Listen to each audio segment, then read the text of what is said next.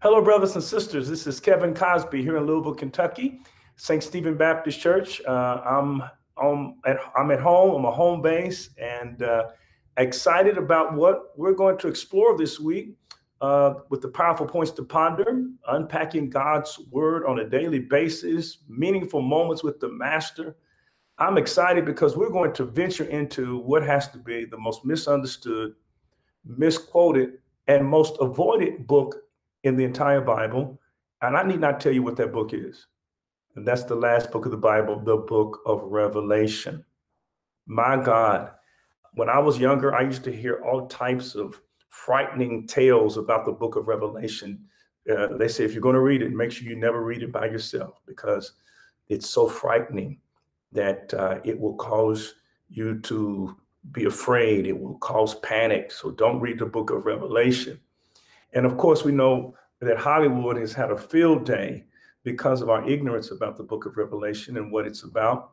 Uh, there were a series of, of uh, movies that were uh, talked about the, uh, the Antichrist, the emergence of this world leader, the Antichrist, uh, called The Omen. And they used to have sequels called The Omen 1, Omen 2, Omen 3, and with the eerie music. And uh, I think that the, the, character who was the Antichrist was a, a, a young boy named Damien who was protected. Damien. Well, none of what you saw in those movies was true. It's mythology that was based on our ignorance. Listen, the book of Revelation is not to cause you to be afraid if you're on God's side. It's designed to bring you, as we shall see, comfort and hope and the assurance that in the end, God's going to win. That's what the book of Revelation is really about.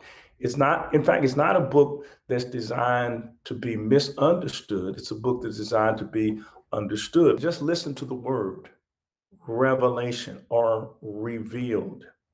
Now, to say something has been revealed means that it first had to be concealed.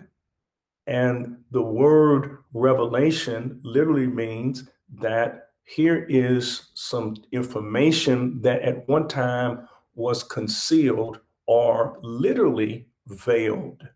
In fact, look at listen to the word revelation and see if you don't hear the word veil in the very word revelation.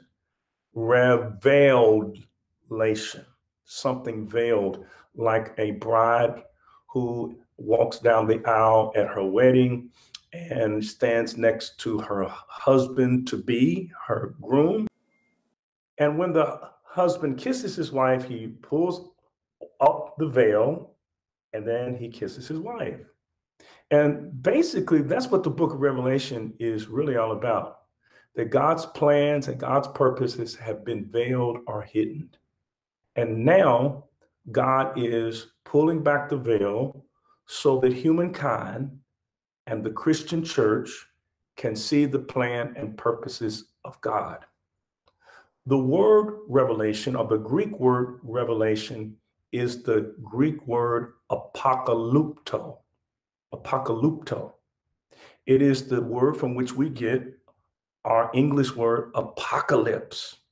Perhaps you remember the movie, I think it was in the 80s or 90s, entitled Apocalypse Now. It was a war movie about destruction.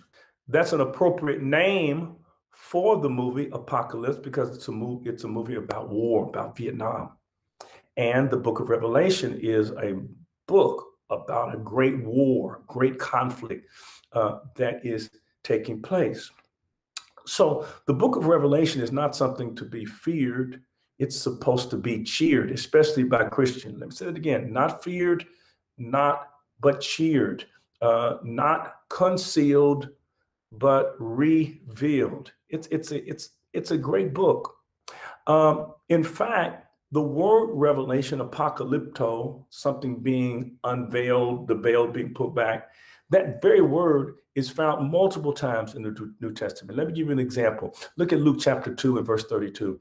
Luke 32 says, and, and this is what uh, God revealed to Simeon that uh, the, the, the old man who saw uh, the, the, the Christ child, and and Simeon would say would said that Jesus, the baby Jesus, when he grows up, will be a light for revelation to the Gentiles. Now, what does that mean? A light of revelation to the Gentiles. That means that the Gentiles did not understand God's plan to salvation. So Jesus would be a revelation. He would take back the veil so that non-Jews would know God's plan for salvation. Remember the Apostle Paul in uh, 2 Corinthians chapter 12 when he talks about uh, the thorn in the flesh. He would later talk about his thorn, and that is because to keep him humble because he had so many, he'd been given so many revelations. He says in 2 Corinthians chapter 12, and this is the chapter in which he talks about his thorn in the flesh. He says, I must go on boasting. Although there is nothing to be gained, I will go on to visions and revelations from the Lord. And what he's going to say is that one, one of the reasons why God gave him a thorn in the flesh was to keep him humbled and grounded because he had had so many revelations. God had unveiled so many truths that no one knew about, and God took the veil off for Paul so that Paul could discover these truths and become the great apostle that uh, he became. So the book of Revelation is simply God taking the veil off of, off of God's plan and God's purposes so that Christians, and that's very important, so that Christians might know what God is up to. Now, uh, several weeks ago, in fact, the exact date was April the 13th, and you can go back and look at the powerful point to ponder on April the 13th. Uh, it was part of a series. We did a, a special powerful point to ponder on how to study the Bible Bible without losing your mind. And there was a word I gave you called hermeneutics, and that is how to interpret the Bible. That's what hermeneutics is all about. Now, listen, if you don't interpret the book of Revelation right, and this is the problem with the book of Revelation, is that because we don't use good hermeneutics, many people go to the book of Revelation in order to justify and rationalize things that are so incongruent with what the Bible teaches. Uh, I don't know if you heard of a man named Charles Manson, but Charles Manson committed one of the most heinous murders, Sharon Tate, LaBianca uh, uh, um, murders back in the late 60s. Charles Manson said that the whole Helter Skelter murders was based on what he was reading in the book of Revelation. So that means that anybody can go to the book of Revelation if you don't have sound principles for interpreting the scriptures to rationalize and justify and see in the book of Revelation what you are not supposed to see. That is why uh, when we talked about how to study the Bible without losing your mind and talked about principles of hermeneutics, that these there are just standard principles that you have to apply whenever you study the Bible. Anytime somebody says to you, this is what a passage means, they're not prepared to tell you what a passage in the Bible means if they're not first are able to answer four questions. Four questions. Now, there are five A words I'm going to give you. The first four words are questions, and the fifth A word is after answering the question, you can say, Now I can tell you what the scripture means. In fact, you have to discover what the passage meant before you can determine what it means. What it meant when it, when it was written, and, and then you determine what it means today. And here are the five words that I want you to always remember whenever you are interpreting the Bible. First of all, you need to ask yourself the question who is the author? If I'm studying the book of Jeremiah, I need to know something about who Jeremiah is, where he came from, what he's dealing with, what type of personality he is. You need, if I'm studying the book of Luke, I need to know who Luke is. I need to tell you, you need to tell me something about Luke. Why is Luke different than Mark? You need to first understand who the author is. And that is why also during that series, in which how to study the Bible with all, how to study the Bible without losing your mind, on the last day, of the series, I gave you about five books that every serious student of the Bible must have in their library because these are the questions that the books that I gave you on that Saturday will answer. You might want to go back and watch that uh, powerful point to ponder, but you need to know who the author is, who the author is. Two, who the audience is, who the audience is. Now, Sometimes you don't know who the author is. Sometimes you don't know who the audience is. Most of the time, you can reconstruct who the audience is. Think of, for example, um, when you're talking, let's say you're talking on the phone, and uh, while you dial somebody's number, you don't get the person, but inadvertently, you are able to pick up on a phone conversation that's taking place between two people. Now, all you can do is is listen to one of the persons talking. You can't hear the other person's response. And you accidentally picked up. Now, of course, we as Christians know that we should about just shut the phone down. But let's just say that um, you happen to keep the phone to your ear and listen. And you can't really tell what the other person is saying. But since the person keeps talking about doctors and hope to see the doctor soon, you can reconstruct that they're probably talking about something medical. And that's called hermeneutics. It's reconstructing what the initial conversation is about. So, and there's a conversation between an author and audience. John, who writes the book of Revelation or who's described the book of Revelation, is talking to a particular audience. He's talking to some churches. So you need to know who the author is, who the audience is, and then thirdly, what the alarm is. What is the critical issue that prompted the writer to pick up the writer's pen and write to the particular audience? They didn't write just to write. For example, if you write a letter to somebody, you just write a casual letter, or you just send a text, "Hey, how you doing?" No, there was an issue that prompted the persons to write what they wrote in every book of the Bible. And before somebody can answer the question what it means, they need to be able to tell you what it meant in its initial in its initial historical context by telling you, well, you need to know what the alarm is, what the issues are. Four, what the answers are. What does the author say God is saying the answers to the particular problem is. Once you have outlined these four questions, answered these four questions, then you are able to make application. You build a bridge between the world of the author and the world and your own world. You build a hermeneutical bridge that's called application. Then you're able to apply it.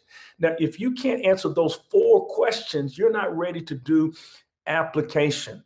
Now, let's look now at some verses in the book of Revelation as we close. Revelation chapter 1 and verses 1, 2, and 3. Remember, I told you that many people are afraid to look at the book of Revelation because of the mystery of the big book. And it has a lot of mysteries, and as we see, a lot of codes in the book of Revelation.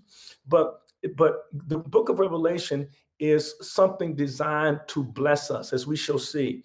Verse 1 says, The revelation which means unveiling from Jesus Christ. In other words, Jesus Christ is unveiling something to us, something that prior to the book of Revelation, which was written in AD uh, uh, uh, uh 95, AD 95, that prior to the book of Revelation was concealed. Now, Jesus is coming and Jesus is going to take the veil off of God's plan and purpose.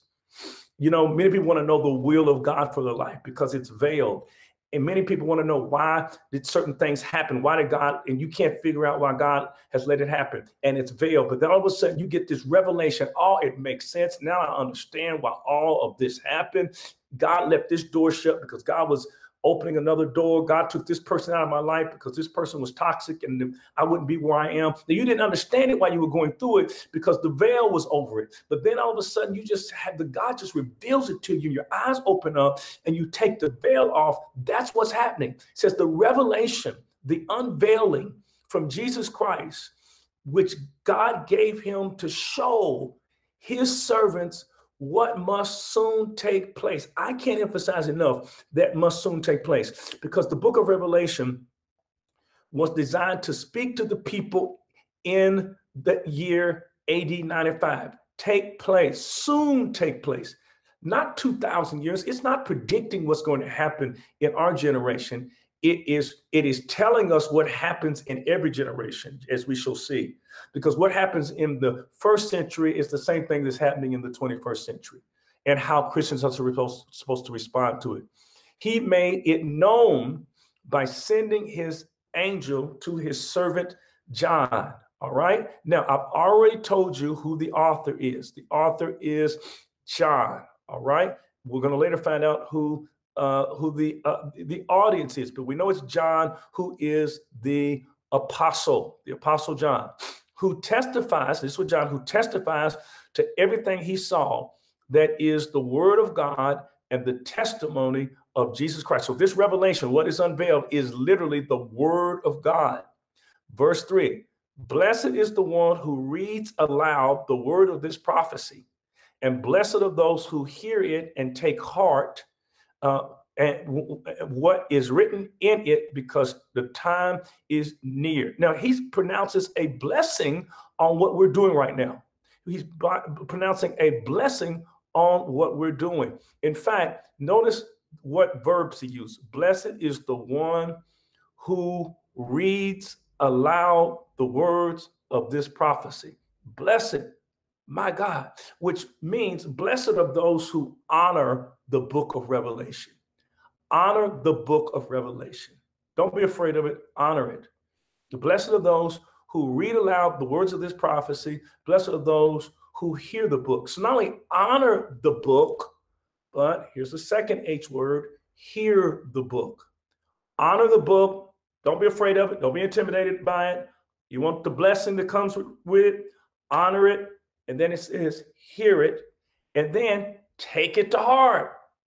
That means, here's the third H word heed it. Heed it. Take it to heart. Honor the book. You, you read it aloud. I honor it. I'm going to read it aloud. Blessed are those who, second H word, hear the book. I'm going to understand what it means and take it to heart. I'm going to believe it or I'm going to heed it. Honor it. Honor it. Hear it. Heed it.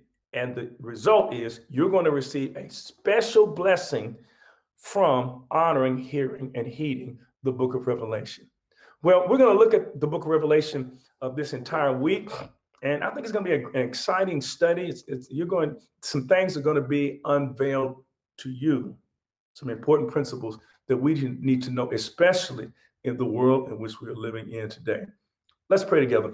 Father in heaven, thank you so much for your people.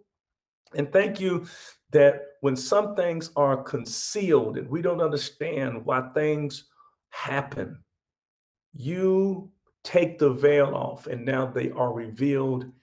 And we've got peace in our heart because everything makes sense. I pray, oh Lord, that you will bless this week of study, uh, that you will help us to really understand what the book of Revelation is all about. Grant that this might be an exciting week for all of your people. In Jesus' name we pray. Amen. Well, God bless you. Thank you so very much for being with me with another powerful point to ponder. Look, if you don't have a church home, I'd like to invite you to become a part of St. Stephen Church. Everyone needs a church home. So contact us, email us here at St. Stephen Church, new start at ssclive.org. Peace and blessings to you. Have a fantastic day, and we'll gather again tomorrow uh, to continue our study in the book of Revelation, a, special book with a special blessing, a special book with a special blessing. But until then, don't forget during COVID 19, remember to stay safe, stay sane, and if you can, stay home. God bless you. See you tomorrow.